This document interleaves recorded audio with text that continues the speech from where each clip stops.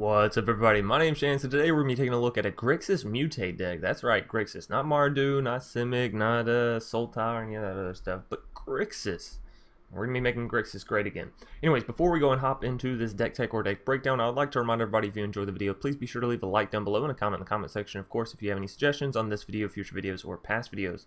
Furthermore, if you're new here and you like the content, consider subscribing and then clicking that bell icon that pops out after the subscribe button is pressed, and then you'll get notifications whenever I go live or not whenever I go live. Sorry, I just it's it's worked into my my habit. Anyways, whenever I post videos or post posts, and if you're looking for whenever we're going live, uh, be sure to drop us a follow over on twitch.tv forward slash Dr. Spilikin. We're live most mornings. Um, some mornings, you know, I take off because everyone deserves a break. But uh, most mornings, 9 a.m. Eastern Standard Time, uh, we go for about two or three hours. So and generally, we are playing ranked. If not, we're building decks. So hop over there, toss a follow if you enjoy seeing this stuff live. Furthermore, if you're looking for a Magic community to link up with and have people to talk to about it, you can join our Discord. There's a link down below in the description. And of course, everyone's welcome. And uh, yeah, feel free to join. Now, on to what we're actually playing here today. We have uh, uh, we have a pile. We have a pile of cards. no, um, I was actually just looking at this and realizing this card or this deck is fairly budget friendly as well. You'll notice that we actually have a whole lot of uncommons, commons, and the only uh, rare cards we actually have is the Irencrag, Pyromancer, and the Sea Dasher Octopus. And honestly, you don't really need... Well, that's a little weird. Honestly, you don't really need the Irencrag. Well, I just want you over here. There we go. You don't really need the Irencrag Pyromancer. I do recommend the Sea Dasher Octopus as its uh, its mutate for one is just insane, right? You add the baby Godzilla and it reduces the mutate cost. Anyways, the whole idea behind this deck, or the whole reason that I got the inspiration for this deck, was the Vampire the Dire Moon plus the Parrot, right? Had somebody play this against me, and it was just absolutely devastating. Now, the combo works by you getting down the Vampire of the Dire Moon, or just the Death Touch creature in general, like Foul Knight as well, and then you mutate the Porky Parrot onto them. What's the marvelous thing about this is whenever you go to tap and deal X damage to any target, where X is the number of times this creature mutated, blah blah blah, you only need to deal one damage with a Death Touch creature in order to take out an entire creature, right? So the kind of cool thing is you can just tap the Porky Parrot with the Vampire of the Dire Moon or with the Foul Knight, and it basically applies the Death Touch to whatever you decide to shoot your one damage at, right? So turn three, you get a Death Touch, basically instant kill on whatever whatever creature your opponent may have on the board. Um, Baby Godzilla is going to make it to where all of your mutate creatures plus the mutate cost of the creatures cost less. So really, really awesome here. And this is kind of the reason why I have Irencrag Pyromancer in the deck, right? Because it also reads whenever you cast a creature spell, if it has mutate, draw a card, then discard a card. So a lot of times on your turns, you're drawing and discarding, which is really good for Irencrag Pyromancer. We do have one copy of Negate because I didn't want to get board wiped because yeah, that, that, always feels bad, you know. One copy of Negate, three, two copies. I almost said three. Two copies of Mystical Dispute, and three, you know, counters total. I feel like it's perfectly fine, and it's good to keep you out of murky waters, right? Now, Sea Dash Octopus, I already kind of talked about this. Mutating it down for one, one single mana is really the key here, and being able to flash it in, so you can actually get these mutate procs off um, at instant speed, right? And then we have Insatiable Hemophage, the other part that I was like equally excited about as the Porky Parrot, right? This one reads, whenever this creature mutates, each opponent loses X life and you gain X life where X is the number of times this creature has mutated. Now that doesn't sound that great, but in all reality, it's really, really easy to get this to go off and to double proc it, right? So if you can mutate an Insatiable Hemophage onto the same creature that you've already mutated with Porky Parrot, that's immediately going to be two uh, two damage dealt, two life gain, and then the Parrot also gets the tap to deal two extra damage and gain two extra life if you have it on the Vampire the Dire Moon, right?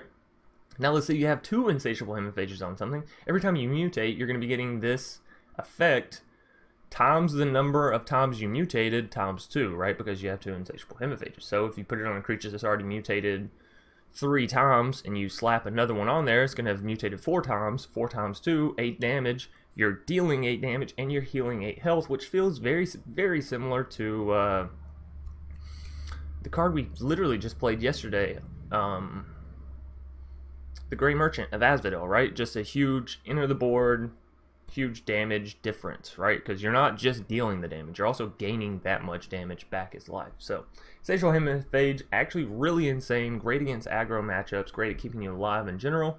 Uh, just a really fun and awesome card. Dreamtail Heron, and I hope I'm saying that right.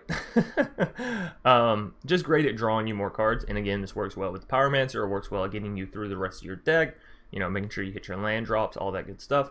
And then we have one copy of Chittering Harvester because sometimes your opponent gets up to having way, way too many creatures, and this is a great way of actually thinning their numbers very, very quickly, right? So you throw this on something, then you Sea Dasher Octopus for one mana, make your opponent sacrifice creatures, make your opponent or allow you to draw cards, deal damage, gain life. So this is why Sea Dasher I say is actually kind of important because one mana to proc any of these three is very, very, very much worth it, right? One mana draw a card, and you're also getting to mutate something down onto it while increasing the amount of damage and life you gain. It just seems fantastic. So, all that being said and out of the way, I'm sorry that was a bit of a longer deck tech or deck breakdown, but there is kind of a lot in this deck. Um, but it's very fun. It's very, very fun. So, we're going to go and hop right into our matches without further ado. Alrighty.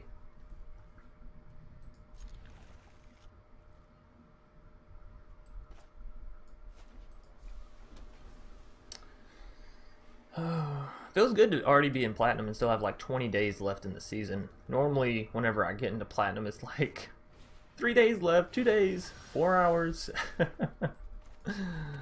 so this will be this will be good.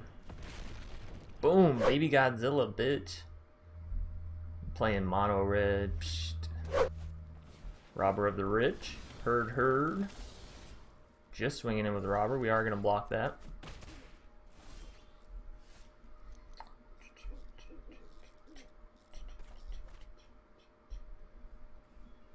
So we can actually get this Heron down if we want to. I think I do. I think I do want to.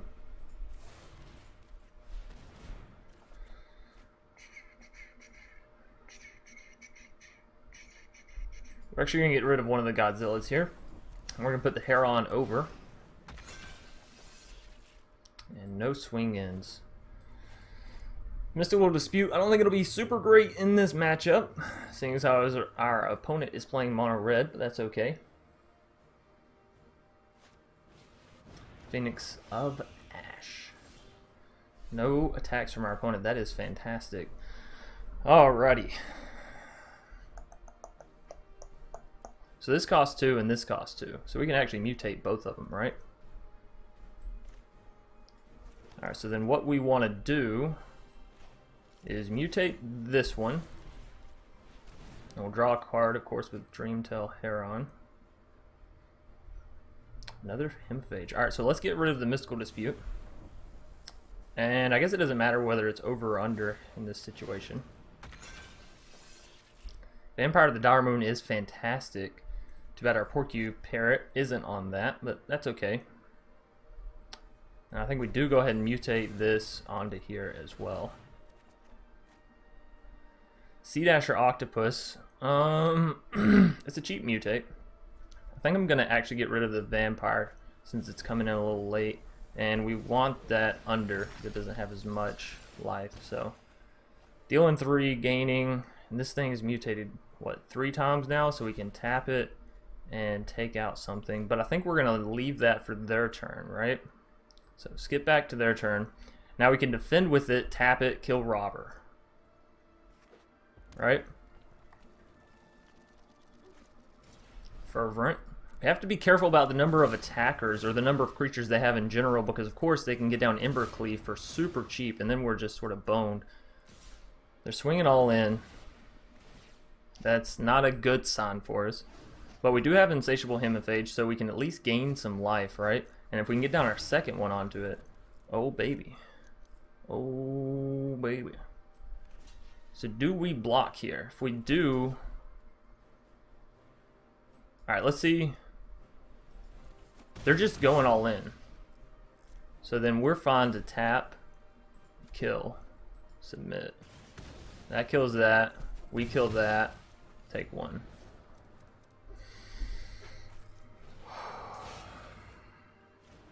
Alright. And then we get down Insatiable Hemophage and we heal a crap ton. um, so obviously we want to reserve two mana for this. This costs one to mutate, right? And this costs three to mutate. So we can mutate this plus this or this plus this. I say we go for the Dreamtail Heron. Drawing more cards seems good. Alright, so mutate for three. No, why would you mutate like that?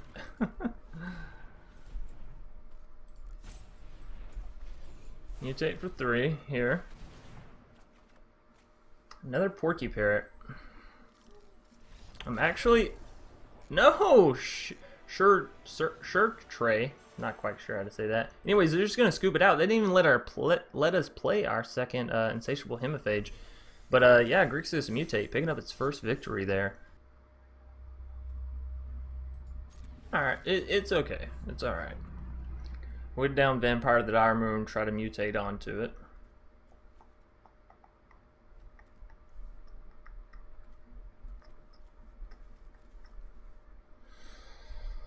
Oh boy. That was nice though. That was actually really fun. Alright, so Vampire of the Dire Moon. If we could draw into a Porky Parrot, that would be great as well. So obviously Porky Parrot plus Vampire of the Dire Moon is sort of the whole thing that we're, we're revolving this around here.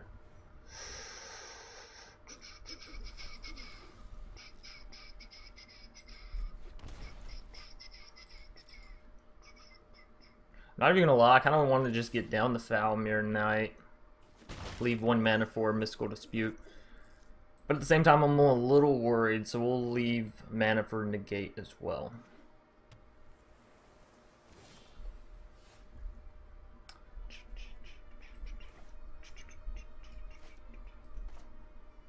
Alright, I think on this turn, we're paying two. We're not mutating. We're playing Vampire. Keeping mana for Mystical plus Negate. Our opponent's obviously heavy in blue, so probably a lot of counterspell slash flash, right?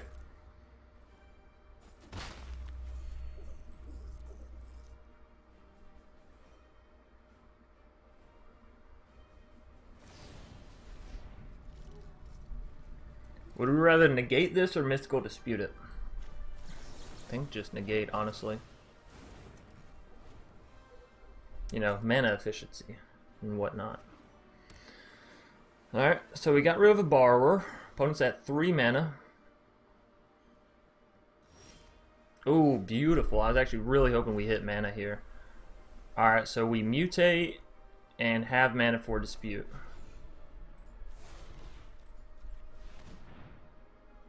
This will deal 1, and then we can swing in for 4.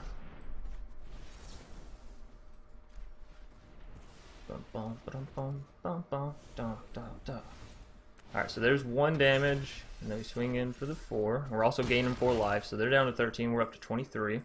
Then we can pay for the Foulmire now and draw a card, and then play Foulmire. Pretty much out of options besides that, right? You leave that card alone! Or not. Alright, so besides the Unsummon, they probably have a Sinister. Alright, so we're going for the Foulmire lose one life, draw card. Right off the bat. If they want a Sinister, fine by me. We'll get down the Vampire of the Dire Moon again. Hypnotic Sprite. Same, same difference in my book. So enter that tap, play another Vampire, and swing in for the one. It feels okay. We haven't we haven't really played against top tier deck. I mean, mono red is top tier. We did we did pretty good there. All right, go for a card draw. I know if we do this, it means we can't play Insatiable Hemophage, but yeah, they're they're leaving the mana so obviously for the counters. It's, it's not even funny, not even a little funny. They're obviously going to take a trade here. They can go down to 11. We're up to 26. We're down to three cards. Two cards. One card. no. Vampire of the Dire Moon, does it get countered? We shall see. It does not. We're not playing the Insatiable Hemophage. We're not doing it. Can't can't convince me that that's a good play when I'm pretty sure they only have counter. Hypnotic Sprite, they're just playing it down at this point. They're they're getting scared. Alright, I want to try to get a Heron down. Um, I want to try to get a Heron down now, actually. So let's see it. Counter my spell. Oh, mighty blue player. Sinister. We're working them. We're working them. Little by little. Taking them down. I, I didn't see. Did they? They didn't dumpster whatever card that was, so they obviously wanted it. Opt. Trying to bring Mono Blue back. I can respect that, have hope. You have hope that Mono Blue isn't garbage. And again, I respect that. I don't agree, but I respect it. Let's see, do they have the counter magic?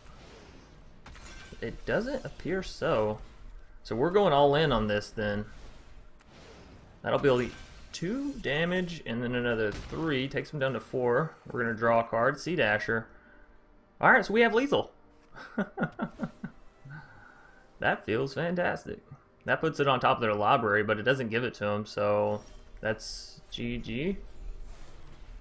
Let's see. Uh, under. Boom, and boom. Wow. Grixis Mutate 2-0. yeah, baby.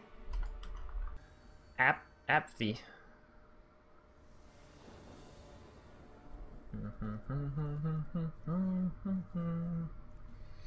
Ooh. this is uh, interesting. I wish we had some some red mana so I'd feel a little bit better about that Porky Parrot. But this is still good. We can go Vampire into Baby Godzilla. that sentence. That sentence, though.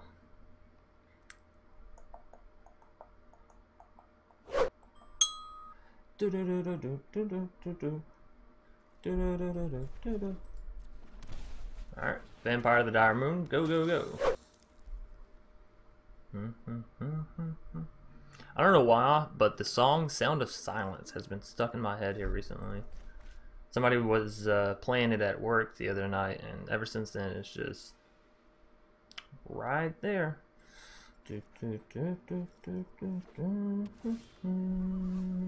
Not exactly what we wanted. I'm gonna be honest. It's a little shy of red mana. But, uh, you know, Baby Godzilla still makes a stomp when it comes down, so I, I'm, I'm happy. I am happy. Our planet, uh, our, our, our planet, our opponent is playing, uh, playing Bant. How do I feel about that? Do I want to go for the Dreamtail Heron? I think so. If they're playing, if they're playing counter magic, let them play counter magic. You know, essence scatter. It happens. It happens, and we move on. Another Porky Parrot. Don't get me wrong, I want the Porky Parrots, I really do, but I, I need the red mana to make them happen. So until we get that, eh, we're, we're sort of up the creek without a paddle, you know what I mean? Hey.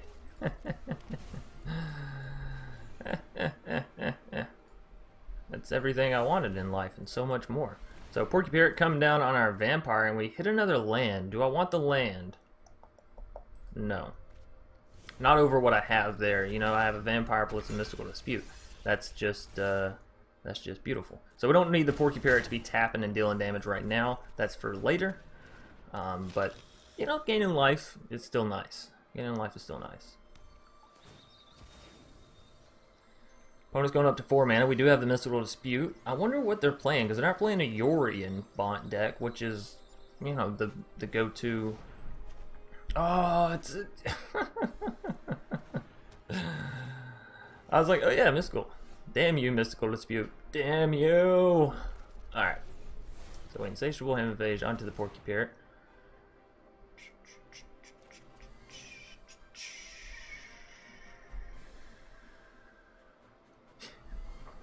You're gonna make me choose like this game. I'm not I'm not I'm not a counter magic player, damn it. I stand by that.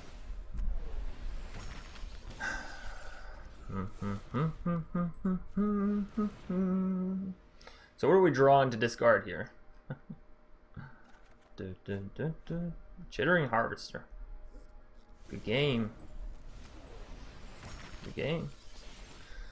Do we have it? Do we have it here? That's going to deal three. We deal... No, we don't have it. Why are you saying good game? That's only five. Oh, no, no, yeah, yeah, because they go down to three after we deal the three. Grixis Mutate. Is it, is it that good, though? Ray, Rayono. Ray, Rayon? Oh? I don't know. Um, this is...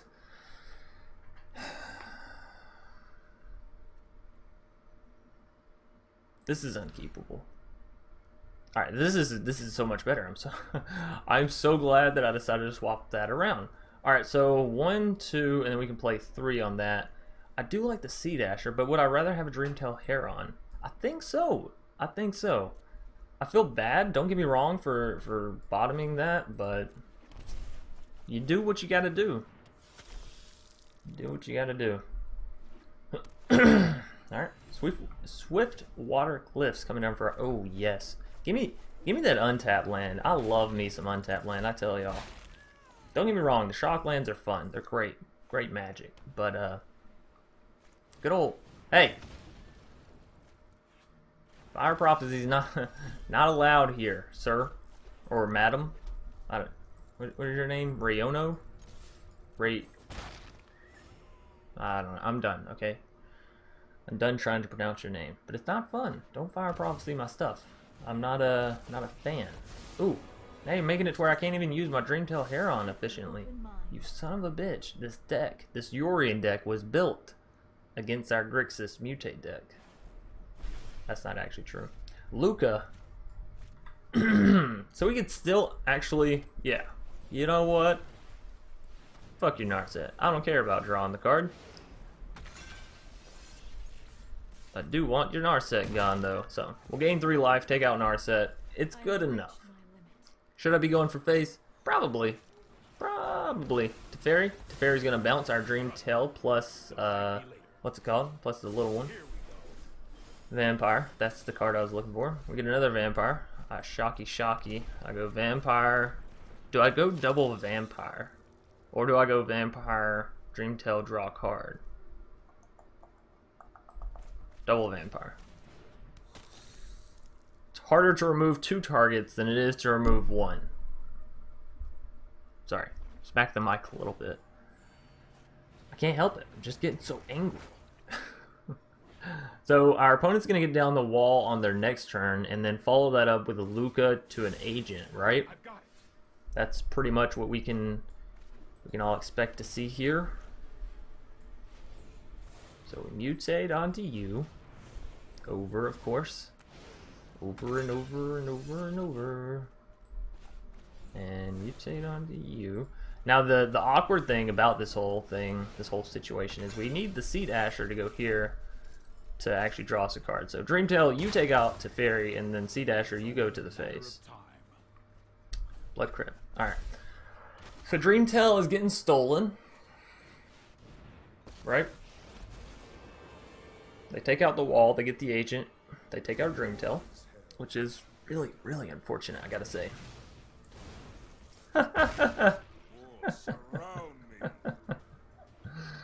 That's not an agent of treachery, you silly goose. Oh, look at them playing an end race, thinking it's... no! Wrong, wrong thing. I think we do actually want to activate this Fabled Passage, because if I draw a basic land and I didn't play my passage, I will be furious. Uh, we probably should have grabbed blue there, now that I think about it. Um, Dreamtail, you actually got to do your thing over on the Lukka, because the silly goose over there drew an end raise. Bum bum bum bum bum bum bum bum bum. Alright, so they're taking out our, our Dreamtail, our Heron. Gotta say, I'm not happy about it. Not happy. Dun, dun, dun, dun, dun, dun, dun, dun. But we did finally find a deck that could sort of deal with what we have. Granted, I think that Lukka is much better with an agent. Our opponent may not have an agent, so just something uh, we gotta sort of. Oh no, game! Not like this! Not like this! Alright, so uh, we're, rolling the dice. Rolling the dice. We have 11 lands left in our deck, so only 23% chance of drawing that. See things my way.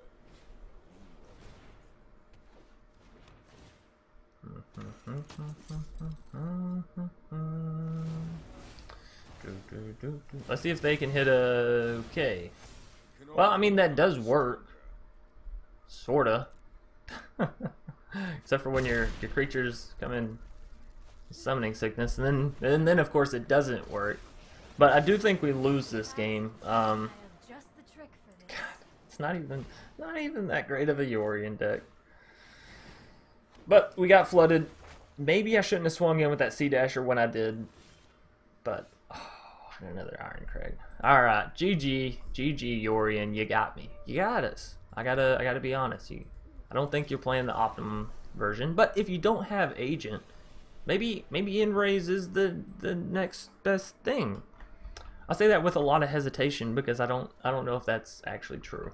Um, I haven't I haven't played much of the Orient, though I have watched uh, a decent decent little chunk of it. So, anyways, that is gonna wrap up our Grixis Mutate deck. That was that was a fun deck. Um, and and to see it win three straight. to see it win three straight games in platinum, uh, I gotta say I'm kind of proud, kind of proud of my little baby Grixis Mutate uh, deck there.